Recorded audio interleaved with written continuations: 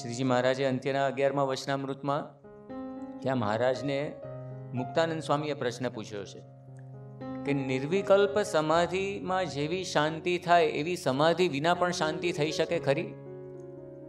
તો શ્રીજી મહારાજે એનો જવાબ આપ્યો કે જો ભગવાન અને સંતમાં એને હેત હોય, તો નિર્વિકલ્પ સમાધિ વિના પણ એને શાંતિ થાય. તો મહાન સ્વામી મહારાજને વિશે જો આપણને હેત હોય, તો આપણને શાંતિ થાય. અને કેટલા બધાનો અનુભવ છે. સંતને વિશે હે તો એમના દર્શન માત્રથી કેટલા બધાને શાંતિ થાય છે. એક અહીંયા આવ્યા હતા, પ્રમુખ સ્વામી મહારાજ અહીંયા હતા.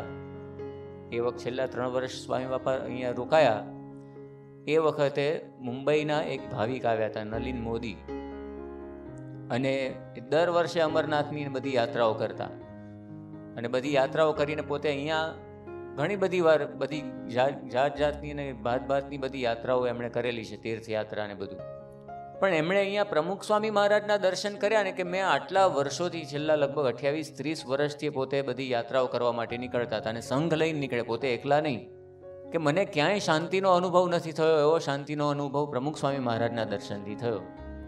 તો આપણને ખ્યાલ આવે છે કે આ સંત એનો જો સમાગમ આપણે કરીએ તો ખરેખર આપણા અંતરમાં એ શાંતિ થાય છે, એમને વિશે હેત થાય તો. ત્રીજું આપણે જોઈએ કે લૌકિક હેત છે, મોહ પમાડે છે. આપણને આંધળા બનાવી દે છે. એવું કહેવાયું છે ઇંગ્લિશમાં લવ ઇઝ બ્લાઇન્ડ એટલે કે લવ, એટલે પ્રેમ તો કંઈ આંધળો નથી હોતો, પણ પ્રેમી આંધળો હોય છે. એ લવ કરનારો એ અંધ બની જાય છે અને ખબર નથી પડતી કે પોતે શું કરે છે. ગુજરાતીમાં કહેવત છે, કામી બાર ગાઉ ઉજ્જડ ભાડે બાર ગાઉ એટલે લગભગ thirty six thirty six kilometres જેવું થાય. કદાચ વધારે થતું હશે ફોર્ટી એઇટ કિલોમીટર્સ જેવું. એટલે ટૂંકમાં આપણને ખ્યાલ આવે કે એને ખબર જ નથી પડતી હોતી કે શું સાચું, શું ખોટું, વિવેક જ રહેતો નથી. લૌકિક હેત માણસને આંધળો બનાવે છે. જ્યારે ભગવાન અને સંતમાં હેત થાય તો એના જ્ઞાનચક્ષુ ખોલી નાખે છે. વરતાલનું અગિયારમું વચનામૃત હમણાં જ આપણે યાદ કર્યું, ફરીથી યાદ કરીએ કે સંતને વિશે દ્રઢ પ્રીતિ તો એનાથી આત્મદર્શનની સિદ્ધિ થાય છે. તો આપણને આપણા જ્ઞાન ચક્ષુ જ્ઞાનરૂપી નેત્રો આંખો ખોલી દે છે. ચોથું આપણે વિચાર કરીએ, લૌકિક હેતથી ત્રણ ગુણથી પર થવાય નહીં. સત્વગુણ, રજોગુણ ને તમોગુણ, એનાથી પર તમે લૌકિક હેતથી થવાય નહીં, ઉલટાને એમાં વધારે બંધાવાય. અને બીજી બાજુ ભગવાન અને સંતને વિશે કરીએ તો આપણે પોતે ગુણાતીત થઈ જઈએ. પ્રથમનું બેતાલીસમું વચનામૃત. એમાં મહારાજે વાત કરી કે આ લોકની અંદર ઘણી બધી એવી પતિવ્રતા સ્ત્રીઓ છે કે જેને પોતાના પતિ સિવાય બીજો કોઈ ઘાટ સંકલ્પ ના થતો હોય. તેમ છતાં પણ એ કોઈ ગુણાતીત થઈ નથી. અને બીજી બાજુ ગોપીઓએ પોતાના પરણ્યા ધણીનો ત્યાગ કરીને કૃષ્ણ ભગવાનને વિશે જોડાઈ. તો ભગવાન ગુણાતીત હતા તો એ ગોપીઓ પણ ગુણાતીત થઈ. મહારાજે એવી વાત કરી છે. એટલે ટૂંકમાં લૌકિક હેત એનાથી ત્રણ ગુણથી પર થવાય નહીં ભગવાન અને સંતને વિશે હેત કરીએ તો આપણે ત્રણ ગુણથી પર ગુણાતીત થઈએ, બ્રહ્મરૂપ થઈએ, એવી વાત મહારાજે કરી છે. સાથે લૌકિક હેત પાંચમી વસ્તુ આપણે જોઈએ, એ કેવું છે? એમાં હંમેશા આપણને અસંતોષ રહે. કોઈ દિવસ સંતોષ થવાનો નથી. અહીંયા હમણાં નોટિસ બોર્ડ મેં જોયું. એમાં સાથે સાથે શું ડિનર છે શું રિઝલ્ટ છે ને બધું પણ લખ્યું છે, બરાબર? બધાને ગમતું હોય, બરાબર છે. પણ આપણે પોતે જ વિચાર કરીએ ને કોઈ દિવસ આપણને એમાં સંતોષ નથી થયો. ગમે એટલું સારામાં સારી ભાવ, સૌથી વધારે ભાવતી એવી વસ્તુ આપણે ખાધી હશે, ખૂબ જ ખાધી હશે. પણ તેમ એક એક કે બે દિવસ પછી એમાં કંઈ બધું ભૂલી ગયા હોય, ફરીથી લાવો. કોઈ દિવસ તૃપ્તિ થતી નથી. બીજી બાજુ ભગવાન અને સંતના સંતમાં હેત કરીએ તો આપણને પૂર્ણકામપણાની પ્રતીતિ થાય છે. એક જ વાર પ્રમુખ સ્વામી મહારાજે આપણી સામે જોઈને લટકું કર્યું હોય કે મહંત સ્વામી મહારાજે આપણને બોલાવ્યા હોય, આશીર્વાદ આપ્યા હોય. એ પ્રસંગ જ્યારે જ્યારે આપણે સાંભળી આપણે યાદ કરીશું ને, તો આપણને આનંદ એ સવાયો થતો જશે, વધતો જશે. એટલે ભગવાન અને સંતને વિશે આપણું હેત છે પૂર્ણકામપણાની પ્રતીતિ આપણને એનાથી થાય છે. મધ્યનું ઓગણસાઠમું વચનામૃત. મહારાજે એવી વાત કરી કે ભગવાન કે સંતને વિશે હેત કરે ને, તો જીવ કૃતાર્થ થઈ જાય છે, પૂર્ણકામ થઈ જાય છે. એટલે આ એક આખી જુદી વસ્તુ છે, આપણે જેને વિશે હેત કરીએ છીએ એમાં એમાં જોડાવામાં સોએ સો ટકા ફાયદો છે, કોઈ નુકસાન નથી. ઉલટાના લૌકિક હેતમાં નુકસાન છે. એટલે સામે પાત્ર એવું છે, અને આપણને આ અનુભવ છે. જે મોટા મોટા સદગુરુ સંતો આપણી પાસે છે જે પોતે આ વાત કરે છે આપણને ત્યાં વલ્લભ સ્વામીએ બ્રહ્મોપનિષદ, જે પ્રમુખ સ્વામી મહારાજના જીવન ચરિત્રનો ગ્રંથ નાઇન્ટીન નાઇન્ટીમાં આપણે પબ્લિશ કર્યો હતો. એની અંદર એમણે આ વાત લખી છે. એમણે એમાં એવી વાત કરી છે કે ડાયાબિટીસ મારા માટે આશીર્વાદરૂપ થયો. કારણ કે મને ખ્યાલ આવ્યો કે પ્રમુખ સ્વામી મહારાજને મારા પ્રત્યે કેટલી લાગણી છે. હું તેઓ શ્રીને યાદ કરું છું, એના કરતાં તેઓ શ્રી મને વિશેષ યાદ કરે છે. અને તેઓ શ્રી પ્રત્યે મને હેત છે, એના કરતાં અનંત ગણું એમને મારે વિશે હેત છે. બસ, આ પ્રતીતિ થતાં અંતરમાં ખૂબ ખૂબ આનંદ રહે છે અને એટલી તૃપ્તિ થાય છે કે અને એવું લાગે છે કે સ્વામીએ મારી લાયકાત બાર મારા દાખલા કરતાં મને ગજા ઉપરાંતનું આપી દીધું છે. મારે હવે આનાથી વિશેષ કાંઈ જ જોઈતું નથી. આનું નામ જ પૂર્ણ કામ પણ આપણને ખ્યાલ આવે છે કે આ ભગવાન કે સંતને વિશે હેત કરીએ કેવું છે? લૌકિક હેત કેવું છે? અને છેલ્લી વસ્તુ, લૌકિક હેત છે ક્યાં સુધી ટકે? આપણો દેહ રહે ત્યાં સુધી. ભગવાન અને સંતની સાથે હેત કરીએ ને, એ કાયમ માટે ટકવાનું છે. દેહ મૂકીએ ને તેમ તેમ છતાં પણ એ હેત કોઈ દિવસ પૂરું થવાનું નથી. કેમ? મારા જનને અંતકાળે જરૂર મારે આવવું. બિરુદ મારું એ ન બદલે તે સર્વે જનને જણાવવું. કે આપણા અંતકાળે ભગવાન પોતે લેવા આવે છે. અમે નાઇન્ટીન નાઇન્ટી ફાઇવમાં અહીંથી સારંગપુરથી સંતો કીર્તન આરાધના કરવા માટે મહુવા ગયા હતા. ભગતજી મહારાજનું જન્મસ્થાન. અને એ વખતે ચાલુ કીર્તન આરાધનામાં પ્રમુખ સ્વામી મહારાજ પણ પધારતા. એટલે સ્વામી બાપા પણ આવીને ગોઠવાઈ ગયા હતા. અને એ વખતે એક સંત આગળ ગાતા હતા, હરિ વિના હિતકારી બીજું કોઈ તારું નથી.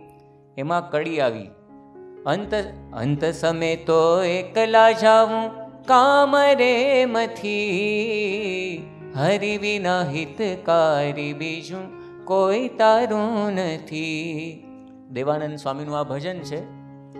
અને એમાં એમણે આ લખ્યું કે, અંત સમે તો એકલા જવું જેવી આ કડી આવીને અમે પાછળ કોરસમાં અમુક સંતો હતા. સ્વામી અમને ઉદ્દેશીને વાત કરવા માંડ્યા. અમે બધા ગાવાનું એક બાજુ મૂકી દીધું. અને પછી સ્વામી એ વખતે વાત કરી કે આપણને તો મહારાજને સ્વામી લેવા આવવાના છે. આપણે કંઈ એકલા જવાનું નથી. પછી તો બીજી ઘણી બધી વાતો સ્વામી બાપાની સાથે એ વખતે થઈ હતી. પણ આપણને ખ્યાલ આવે કે આ જો એમની સાથે આપણે થોડું હેત કર્યું તો એ તો આપણો હાથ કોઈ દિવસ છોડવાના નથી. આપણને કોઈ દિવસ નોંધારા મૂકવાના નથી. જુઓ, પ્રમુખ સ્વામી મહારાજ ધામમાં ગયા. આમ તો ધામમાં ગયા જ નથી. ગુણાતીતાન સ્વામીએ કહ્યું કે અમે તો ચિરંજીવી છીએ. તમારા બધાના દેહ પડી જશે પાંચ છ વર્ષમાં. પણ અમે તો ચિરંજીવી છીએ. એવી એટલે મહંત સ્વામી મહારાજ દ્વારા પ્રગટ જ છે. એટલે ટૂંકમાં એમણે આપણો હાથ છોડ્યો જ નથી. છોડવાના જ નથી. આપણો દેહ પડે તો પણ આપણો હાથ છોડવાના નથી. એ આપણને ધામની અંદર એ લઈ જવાના છે એવી ગેરંટી શ્રીજી મહારાજે આપી છે અને આ પ્રમુખ સ્વામી મહારાજને સત્પુરુષોએ પણ એ આપણને આપી છે. એટલે આપણે એકદમ સાચી જગ્યાએ આવ્યા છીએ અને એવા સાચા પુરુષ મળ્યા છે કે એમને વિશે જોડાવામાં જ માલ છે. બીજી કોઈ આપણે સાધના કરવાની નથી. આ જ સાધના છે આપણા માટે કે મન, કર્મ, વચને એમને વિશે જોડાઈએ. એમને વિશે જોડાણ કરવાનું છે. એ જોડાણ કઈ કઈ રીતે થાય? તો પહેલામાં પહેલું તો મનથી જોડાણ. આખું પ્રવચન મન ઉપર છે. બીજા પ્રવચન કર્મ અને વચનના જોડાણના પ્રવચનો તમને આગળ સાંભળવા મળશે. પણ મનથી કઈ રીતે એમને વિશે આપણે જોડાઈ શકીએ? તો એમાં ઘણી બધી વસ્તુ આવી શકે. આમ તો મનથી જોડાણ છે ને, એ જ સૌથી મહત્વનું છે. જો મનથી જોડાણ હોય ને, તો દેહે કરીને વચને કરીને જોડાણ એ તો થવાના જ છે. મનથી આપણે કેવું સમજીએ છીએ? મનથી આપણા મનમાં આપણે સત્પુરુષને વિશે કેવા જોડાયા છીએ, એના ઉપર જ આખી સાધનાનો આધાર રહે છે. ડૉક્ટર સ્વામી ઘણીવાર વાત કરે છે કે હું ઘણીવાર કહેતો કે નાઇન્ટી પર્સન્ટ આપણી સાધના એ માનસિક છે, એટલે કે મનની સાધના છે. ટેન પર્સન્ટેજ ફિઝિકલ છે. પણ એકવાર મહન સ્વામી મહારાજે કહ્યું કે નાઇન્ટી નાઇન પર્સન્ટ સાધના એ માનસિક છે, એટલે કે મનની સાધના છે. ખાલી એક ટકો જ છે વન પર્સન્ટ એ જ ખાલી ફિઝિકલ છે. એટલે આપણને ખ્યાલ આવે કે કેટલી આ મહત્વની સાધના છે સત્પુરુષને વિશે આપણે આ મનથી જોડાઈએ. તો મનથી જોડાયા ક્યારે કહેવાય? થોડા એના લક્ષણો આપણે વિચાર કરીએ. પહેલામાં પહેલું લક્ષણ છે, કોઈ દિવસ સત્પુરુષનો આપણને અભાવ આવવો જોઈએ નહીં. જો અભાવ આવે છે, તો કંઈક ખામી કંઈક નહીં, ઘણી મોટી ખામી છે. અભાવ આવતો હોય ને, તો એ તો બહુ મોટી ખામી કહેવાય. એટલે કોઈ દિવસ અભાવ આવવો જોઈએ નહીં. શ્રીજી મહારાજ આપણને લોજિકલી સમજાવે છે આ વસ્તુ. મધ્યનું ઓગણસાઠમું વચનામૃત છે. એમાં મહારાજે એવી વાત કરી કે પોતાના સ્ત્રી પુત્રાદિક હોય તો કુલક્ષણવાળા હોય. ગૃહસ્થની વાત કરે છે. આ તમારે, તમે બધા તો હજી યંગ છો. હજી કોઈને કંઈ દીકરા દીકરી થયા નથી. ભવિષ્યમાં થશે. ત્યારની વાત ત્યારે. પણ પોતાના સંબંધિતો હોય, પોતાના ભાઈ હોય કે બેન હોય કે બીજા સગાવાલા હોય, ઘણા બધા કુલક્ષણવાળા એટલે કે ખરાબ જેના લક્ષણ હોય એવા હોય, તેમ છતાં પણ શ્રીજી મહારાજ વાત કરે છે કે કોઈ દિવસ એનો અવગુણ આપણને આવતો નથી. મા બાપને એનો છોકરો ગમે એટલો ધમાલ્યો હોય ને, બહાર જઈને મારામારી કરી આવે, તો પણ એનો જ પક્ષ લે.